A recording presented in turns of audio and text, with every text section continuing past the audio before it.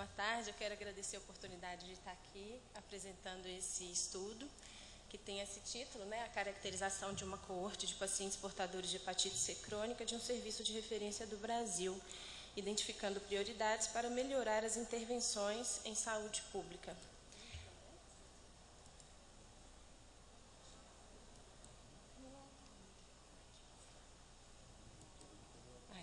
Aqui são os autores do estudo. Bom, a gente sabe que os antivirais de ação direta mudaram a história da hepatite C no mundo, a ponto de, em 2016, a OMS fazer uma proposta de erradicação do vírus até 2030. E o Brasil foi um dos nove países que comprou essa ideia.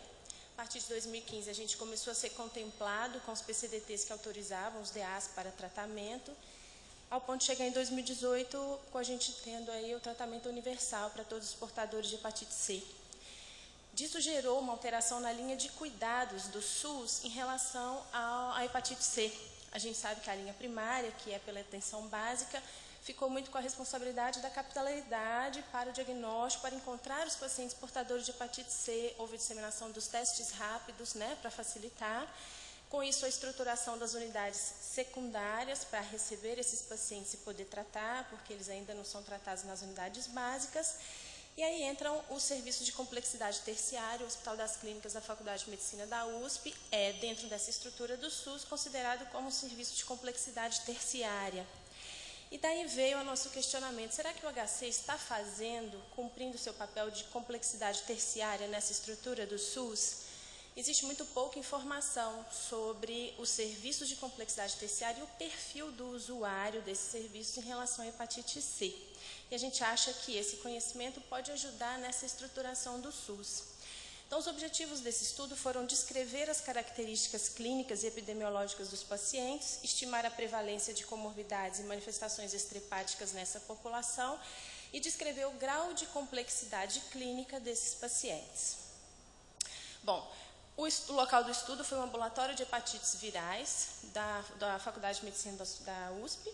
Foi um estudo é, transversal retrospectivo que incluiu pacientes acima de 18 anos, virêmicos, que estavam ativos no serviço no período do estudo, que foi janeiro de 2014 a dezembro de 2016 nós excluímos os pacientes HCV-RNA indetectáveis à admissão e excluímos os co-infectados com HIV, para que as comorbidades relacionadas ao HIV não se somassem às das hepatites virais. A gente coletou dados a partir do prontuário médico e nós definimos complexidade como relacionada à hepatite C, grau de fibrose hepática avançada, classificação Metavir F3, F4 e suas complicações, e as presenças de comorbidades desses pacientes que pudessem justificar a estada deles num serviço de complexidade terciária. Essas comorbidades foram divididas em três. Associadas à hepatite C, a literatura já traz né, comorbidades cardiovasculares, endocrinológicas, reumatológicas relacionadas ao vírus, mas esses pacientes também têm comorbidades não associadas à hepatite C, eles podem estar lá por causa de uma neoplasia, uma doença infecciosa, alguma outra condição que justifique. E tem as manifestações estrepáticas que também foram contabilizadas. A gente fez um cálculo estatístico e definiu que a presença de três ou mais comorbidades dessa somatória seriam indicativos de complexidade clínica. A gente fez inicialmente uma análise de distribuição de frequência dessas variáveis e, na sequência, a gente analisou a complexidade clínica e a fibrose avançada a partir de análises uni e multivariadas. E aí, o que, que a gente encontrou? Nós pesquisamos 2.194 pacientes.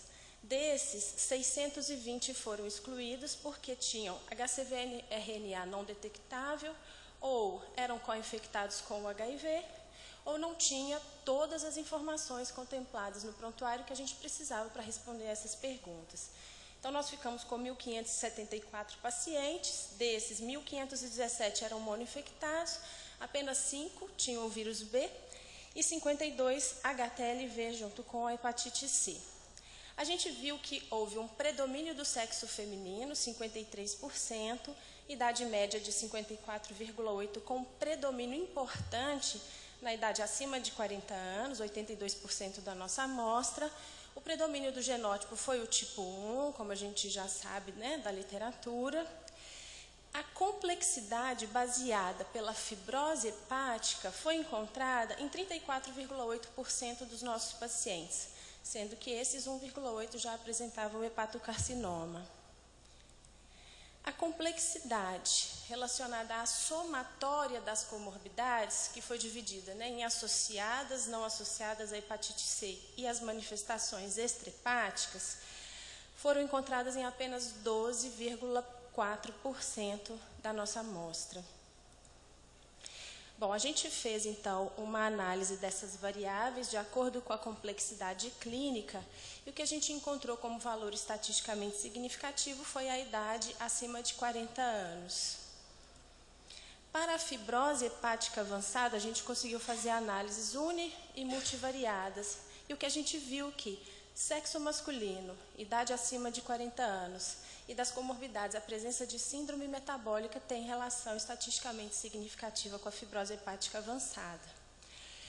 Disso a gente conclui que o perfil do nosso paciente é muito parecido com o da literatura, exceto pelo predomínio do sexo feminino.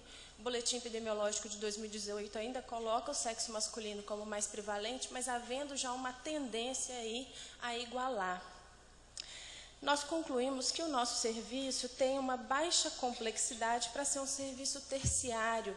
Do total, apenas 41% dos pacientes foram considerados complexos dentro do, dos critérios que nós utilizamos. E disso já começou a haver uma reestruturação do serviço os pacientes menos complexos estão sendo ah, alocados para o CEAP, que é uma unidade de complexidade secundária, e isso tem aberto portas para que os pacientes mais complexos recebam é, acesso e vaga ao atendimento, acompanhamento e tratamento da hepatite C no nosso hospital. Eu quero agradecer à equipe da hepatite, Soraya, que me ajudou no trabalho, e a vocês pela oportunidade da apresentação. Obrigada.